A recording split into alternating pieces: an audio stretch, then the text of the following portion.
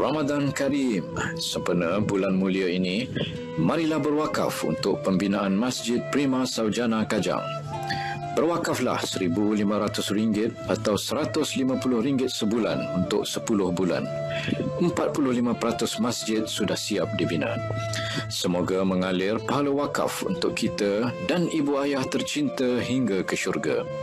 Telefon 016 335 8044 019 211 8844 layari www.masjidprimasaujana.com atau FB dan IG Masjid Prima Saujana Kajang. Wakaf Bina Masjid, hadiah terbaik untuk ibu, ayah hingga ke syurga.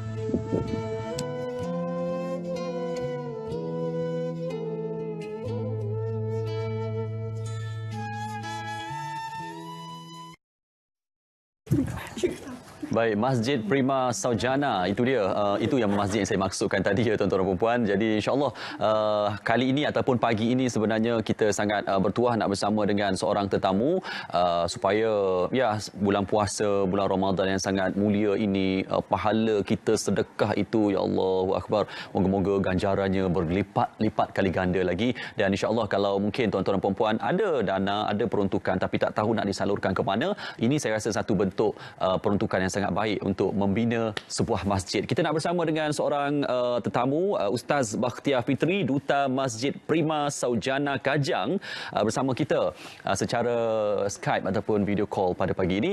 Uh, Assalamualaikum Ustaz. Assalamualaikum warahmatullahi taala wabarakatuh. Alhamdulillah. Terima kasih. Khabar Syaril eh? Alhamdulillah sihat bersegi-segi ustaz kat rumah ya. bersegi. Okey. Dia buat macam video juga lah macam dekat studio juga sebenarnya. kan walaupun tak dapat datang ke sini tak apa. Secara video call pun mesejnya sampai. Okey. Ustaz uh, tadi saya cerita tentang uh, pembinaan masjid. Uh, tadi pun kita dah tengok uh, VT awal tadi uh, bagaimana wakaf bina masjid itu sangat penting. Cuma di peringkat awal kalau ustaz boleh uh, cerita uh, masjid ini dan juga berapa peruntukan sebenarnya yang diperlukan untuk siapnya masjid ini Ustaz? Baik, Assalamualaikum warahmatullahi wabarakatuh kepada Syahril dan juga semua penonton setia dan juga Malaysia, semua bagi Malaysia insyaAllah.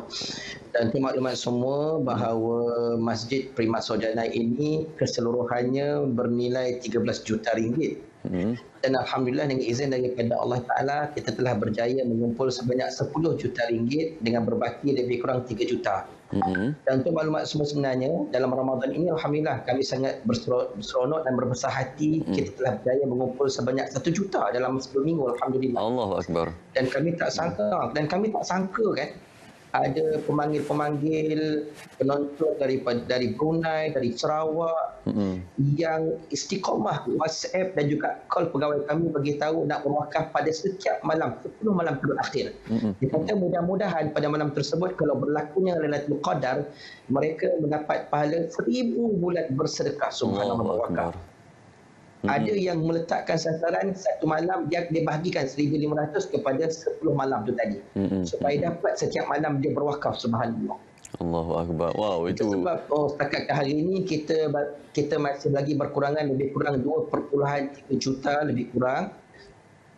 Uh, dan kalau sesiapa berwakaf ini subhanallah dia akan memberi sumbangan yang besar kepada 10,000 uh, orang yang berada yang tinggal di sekitar kawasan Prima Saujana Kajang subhanallah. Mm-hmm. Maknanya dari segi manfaatnya uh, wakaf ini tadi akan pergi kepada banyak orang.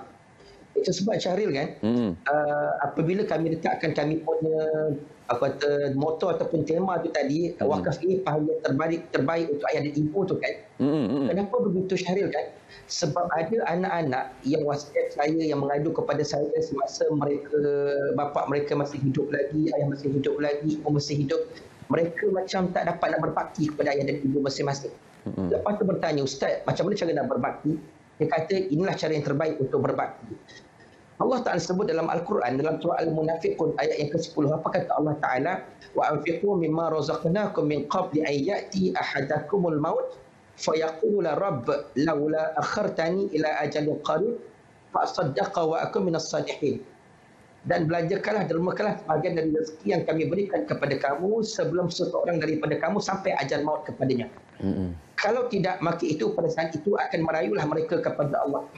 Wahai Tuhanku, alangkah baiknya kalau engkau lambatkan kedatangan ajal matiku ke suatu masa yang sedikit sahaja lagi supaya aku dapat bersedekah dan dapat pula aku menjadi daripada orang-orang yang soleh.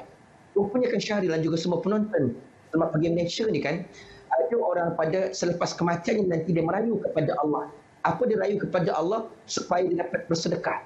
Kenapa sewaktu dia hidup dia tidak mampu, tidak dapat untuk bersedekah. Tetapi ada saat dia dapat bersedekah tidak, tidak digunakan dengan cara yang betul. Itu sebab bagi anak-anak yang berpulang pada saat ini yang menonton pada pagi ini sebenarnya Allah Taala jemput tuan-tuan dan puan untuk menonton bersama-sama dengan Masjid Prima Sarjana pada pagi ini untuk kita berbakti kepada ayah dan ibu kita sebenarnya. Dan inilah jalan terbaik untuk berbakti kepada ayah dan ibu. Kata Nabi SAW, sesiapa yang membina masjid kerana Allah Ta'ala di dunia ini, Allah akan membina rumahnya di akhirat nanti. Kalau anak-anak tidak dapat berbakti untuk membina rumah untuk mak ayah di dunia, jangan risau. Binilah istana untuk ayah dan ibu dia, syukur dan insyaAllah. Bagaimana caranya? Dia berwakaf kepada Masjid Prima Sarjana Kajang. Begitulah cara berwakafnya. Sebanyak RM1,500 satu lot.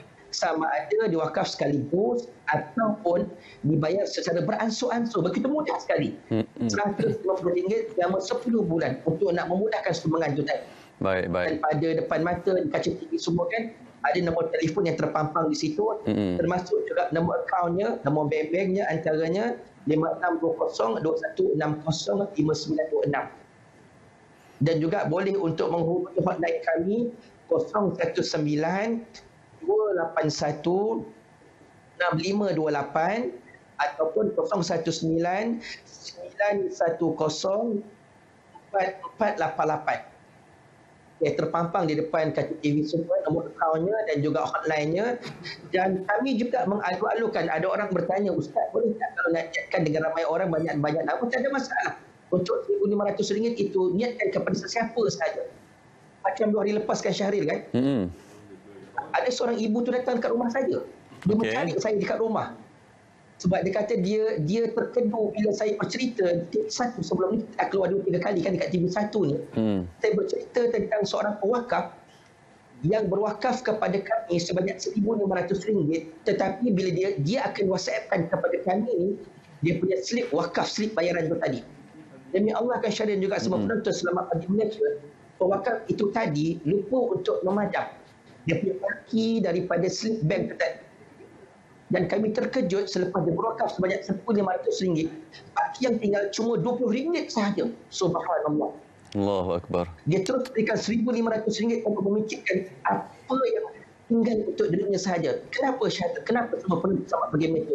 Satu saja jawapan. Kerana dia berfikir yang wakaf ini bukan di tapi di akhirat. Akhirnya kami tim kami berfikir apa sebenarnya? Orang yang berwakaf ini bukan sebab kerana betul berkemampuan semata-mata tetapi kerana memikirkan hadiah untuk ayah, ayah dan ibu yang telah. Mm-hmm. Memikirkan tentang akhiratnya. Baik. Sebab kepada semua penonton selamat pagi Malaysia.